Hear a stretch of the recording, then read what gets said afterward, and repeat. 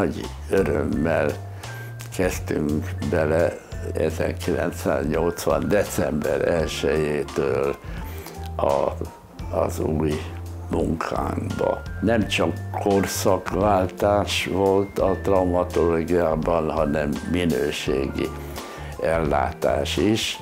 A modern traumatológiának az volt a lényege, hogy a beteg bejövetele vagy behozatala után a teljes gyógyulásig mindent egy helyen tudjunk intézni.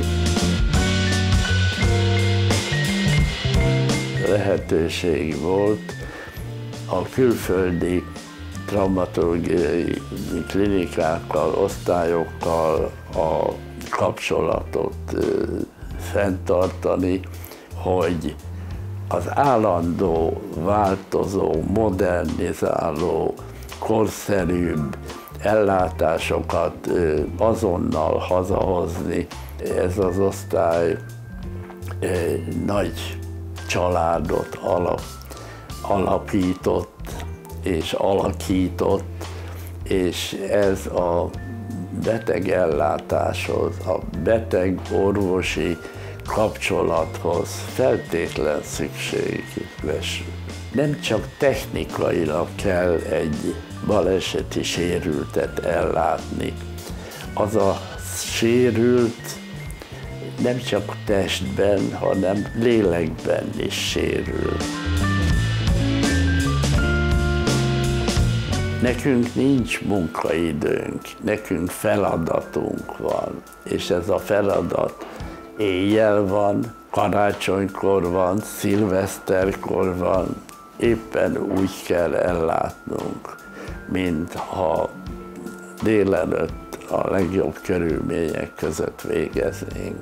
Az osztálynak a munkatársai ezt megértették, tanultak, sokat fejlődtek úgy, hogy ebből a családból nyolc osztályvezető főorvos került ki az ország különböző részeire. Ha jöttek külföldi vezetők, akkor ők örömmel mondták, hogy hát menj el Kecskemétre, és nézd meg ott az új kórházat.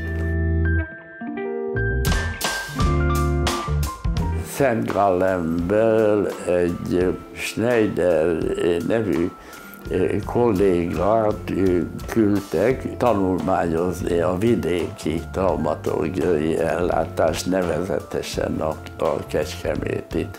Két órát valóban minden zugot végigjárt, mindent fényképezett, és nagyon megköszönte. 88. februárban mi Maringer professzor úrral kimentünk egy, egy kongresszusra Svájcba, és hát beültünk, elsötétült a, a nézőtér, és, és megjelent a képernyőn a Kecskeméti új kórháznak a épülete, és itt az ellátási rendszerről Hát mi csodálkozva néztünk, hatalmas tapsot kaptunk, hogy a magyar egészségügy most már így néz ki.